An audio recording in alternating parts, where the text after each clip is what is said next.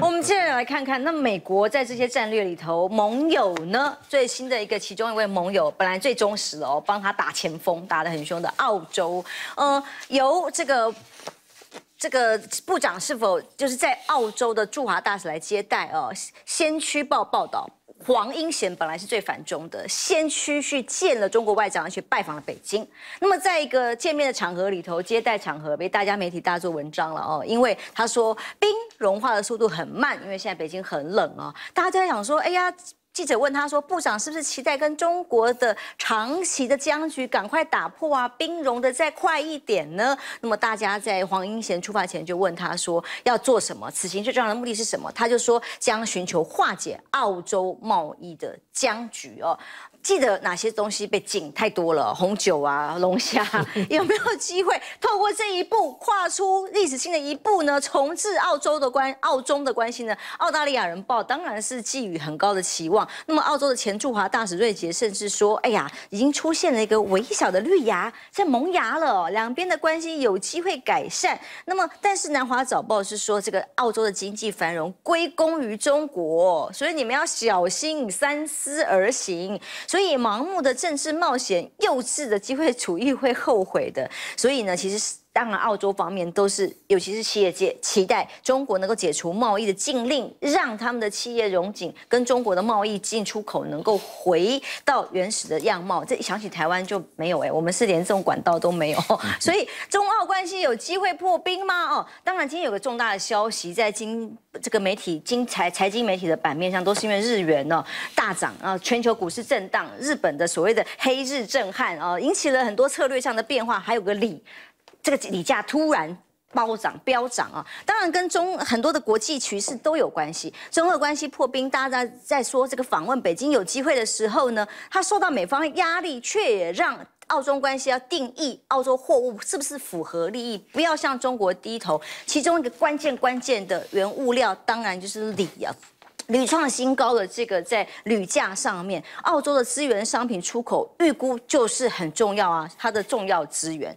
二零二二年到二三年，它的财财报里头显示，澳洲的锂出口。估将会达到三千三百亿的台币，这件事情在全球的锂市场供应里面，它是重要的，而且对需求方当然也是很重要。但是很怕生意被抢吗？因为中国十一月份开始可以从地其他地方进口了，从俄罗斯进口煤炭之外，哎，澳洲也没办法呀。那其他原物料也有其他的可取代管道。那么美中俄的新能源大战现在当然已经开打。那么马斯克眼中的新石油锂矿。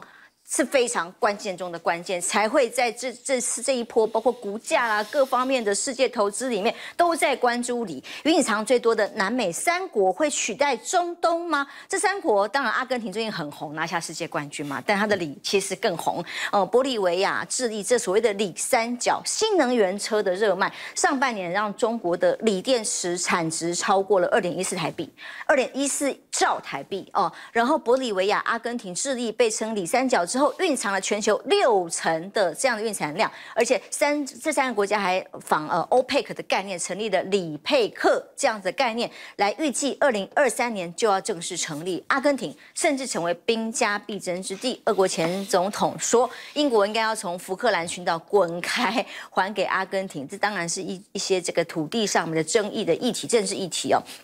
无论如何，在军售阿根廷这件事情，美国当然陆续持续在进行当中。而美国智库认为，哦，从二零零六年对委内瑞拉卖武器禁运哦，就成为拉丁美洲的中国军事硬体的头号买家，十年买了一百九十亿。所以这样角力下去的话，是不是又要转移？除了这些重要的原物料资源之外，连军事上面的物资合作都要再跟。这个中国来合作嘛，而且不止为了矿产，也要让格陵兰这些地方很垂涎的地缘政治战场就在这里要展开了，就是铀啊、锂呀这些重要的原物料资源，尤其在我们的科技产业、半导体产业越来越发展的时候，它当然是全球都兵家必争的这样的物物资啊。嗯，那老师怎么看？从澳洲的这个动作，一直到全球现在在看到底怎么样？这些重要的原物料资源跟俄罗斯之间要围堵，又需要他们。这样的困境，我觉得澳大利亚目前是采用三条路线在走路啊。第一条就是安全的这个路线，安全的路线还是紧紧的依靠的美国，所以他在十二月九号，现在是十二月下旬了哈，二十一号，十二月九号的时候，他就黄英贤就外交部部长跟他的国防部部长到日本的东京，跟日本的同样的外交部长跟国防部长那么有所会对谈，最后也拜会了这个岸田文雄。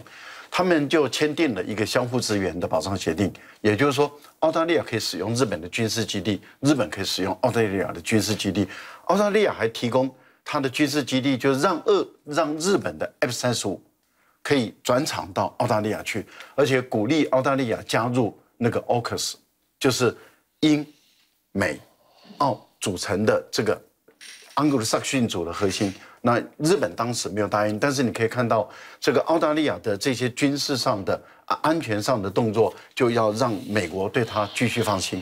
也就是说，他在安全上这个领域跟中国大陆有分歧，但是他还是紧紧的依靠的美国，而且呢，也鼓励日本来加进来，而且鼓励日本在南太平洋这个地方的海军有更多的活动等等。那这个部分当然大陆也看在眼内啊，那大陆也不是表示欢迎哦。也是有意见的，但是在政治上的时候，我觉得澳大利亚的总理阿班尼斯在这一次的讲得很明白。他说，中澳之间有合作，而且我们应该要扩大合作。中澳之间有分歧，但是分歧需要时间去处理，但是不能用分歧来界定中澳的关系。我觉得这个政治的领域中，它走向一个。更为成熟、更为稳健，也就不再像莫里森一样，动不动就攻击、指责、抹黑中国大陆。哦，用不用这个方法，用成熟稳健的外交斡旋的方式来处理这样的情形，中国大陆当然欢迎。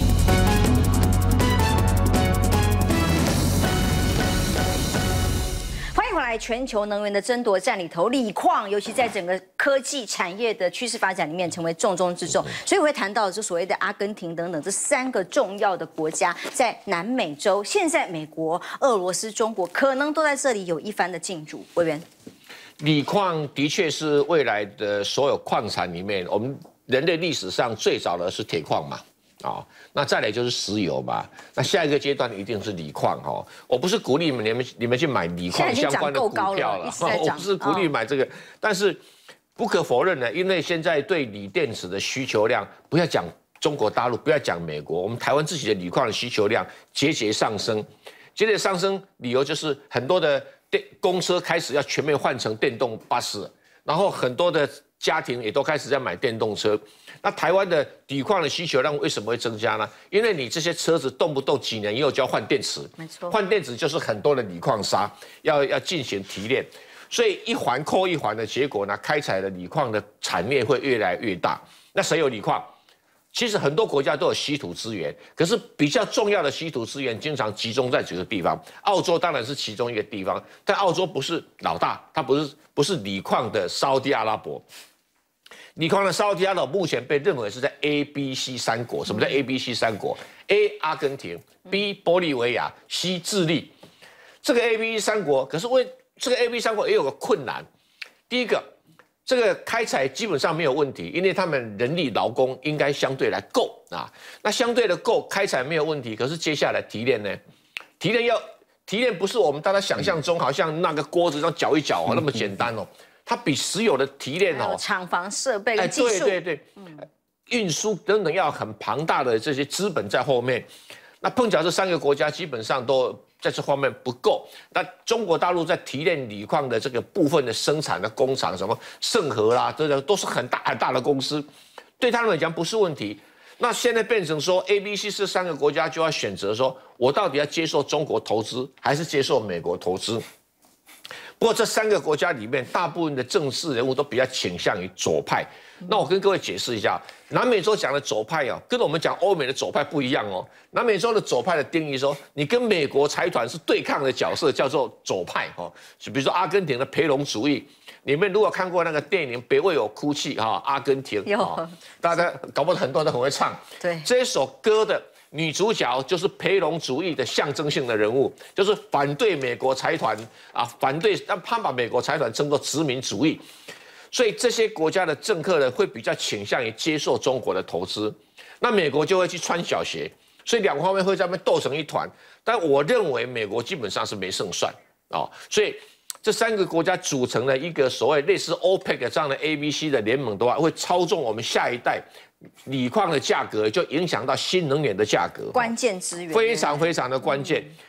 那比如说另外一个话题啊，就是说有关于格陵兰，格陵兰有很多稀土资源哦，不要忘记哦。嗯，它以前是相当的不容易开采，天冷太冷了。可是气候逐渐的暖化之后，对开采格陵兰本地的这些稀土资源的话，变成成本相对降低，然后就有很多国家呢就去参与了，其中第一名的还是中国。欢迎回来，TBS 新闻大白话，全球能源大战，大家在抢啊！俄乌战事发生当中，哎，其实大家抢的还有稀有资源锂矿。我觉得格陵兰对美国来讲，矿物恐怕还不是最重要的东西，战略位置是最重要。因为美国从二次世界大战就控制这个地方，虽然理论上来讲它属于丹麦，可是实际上美国在那边军事从来没撤退过。那美国第一个不会让他去，因为未来北极可能会暖化。暖化之后，北极的航线可能会开通，美国一定会要掌握这点，他绝对不会让任何国家过来。那再来，美国有核弹掉到那个地方没捡回来，哎，那个地方已经掉了很久，好几十年，到现在都还没弄回来。他在求美国哪壶不开提哪壶，所以美国怎么可能让别人去？我讲那个那个地方是很麻烦，那那个那个埋藏了很多秘密，而且我我说真的，中国最好也要考虑的一个问题，因为你知道暖化之后。那个冰层下面的病毒哦，可能都会跑出来。嗯那个地方其实是很危险的，我跟你讲。